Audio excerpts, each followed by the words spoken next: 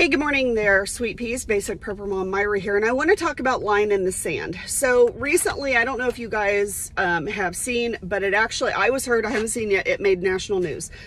Yesterday, uh, we had one of the high schools in our county. So last Monday, we had um, pretty much all the schools were were being involved in the um, walkout mask mandatory Monday is what they called it. So all the kids stayed home from school, they, whatever the situation. Well, yesterday, one particular high school in our county decided to do that and take a stance. And there were probably about 50 kids that stood up, refused to wear a mask. There were parents that were outside the school grounds um, with signs and kind of supporting those youth. And those kids were sent to an alternative room basically a detention room because they wouldn't wear a mask. Well, one teacher stood up with them. One teacher in the high school. Now, there are several teachers in the high school that do support um, no mask or, or, or the no mandate thing for the jabby jabby and the mask. One teacher decided to take a step further and actually stood up. He was put on administrative leave.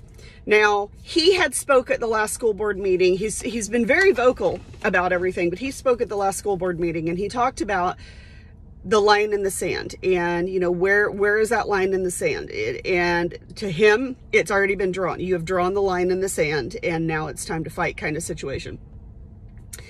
And that really got me thinking. Now this high school was not a high school that my daughter was at. This was a different high school um, and if i would have known a lot sooner i still would have been there to support that high school because we do have a lot of friends and family that are friends that go to that high school.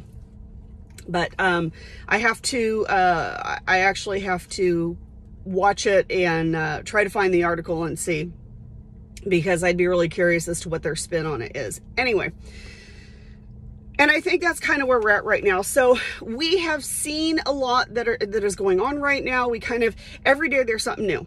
Um, we're dealing with all the kind of crap that keeps piling up.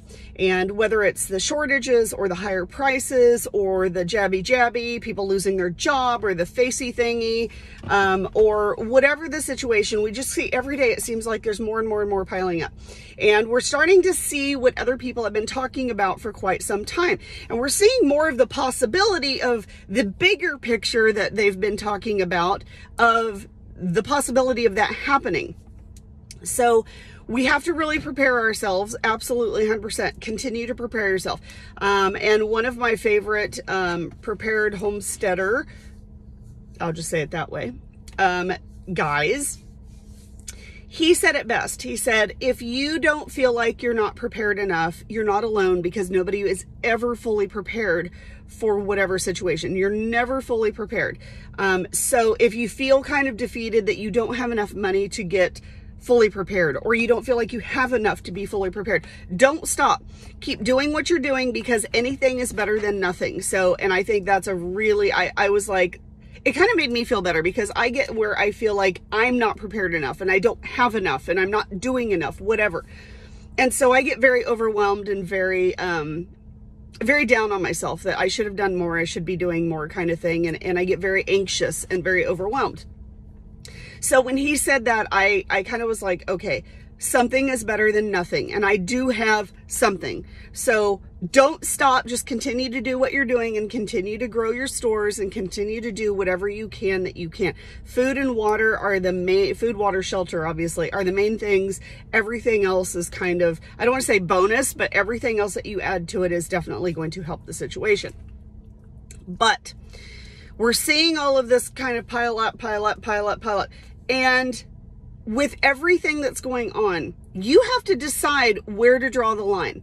Where is your line in the sand? Because mine, to be honest, I don't know if it's 100% there, but I'm telling you, it's about 95% there. Now, what is that 5% that's going to tip me over? I don't know, but I feel that it's really close. I feel that it's really, really close. So you have to decide what is your line in the sand? When is it that that line is finally drawn and you go, I am done. I am tired. I am standing up. I am not dealing with this anymore. I am fighting. When is your line in the sand drawn? You have to decide that. Nobody can decide it for you. Everyone has to decide when enough is enough in whatever situation. Whether it's the government, whether it's the virus situation, whether it's schooling, whether it's work, whatever the situation, you have to decide when is enough. When it when are you done? When is that line in the sand completed that you go, all right, that's it. When is the tipping point? Um, nobody can decide that from you, but you do need to sit down. You really need to think about things and say, what is going to be that tipping point? Because once that happens, is there going back from that point? I don't know. You have to decide that as well. Do you go back at that point and go, okay, we need to just take a breath? Or do you just push forward and go, nope, I'm fighting, I'm whatever the situation is. Um, but we all have to decide what that line in the sand is. And once we cross it, most of the time you can't go back depending on the situation. And that's something else that you really need to think about. But continue to do what you're doing, continue to prep, um, but figure out what your line in the sand is. And when you know that you've crossed that, make sure you have a plan. Make sure you know what's going on moving forward from there. So just some thoughts to think about. Um, I hope you guys have a great, amazing day and I will talk to you soon. Take care and we'll see you next time.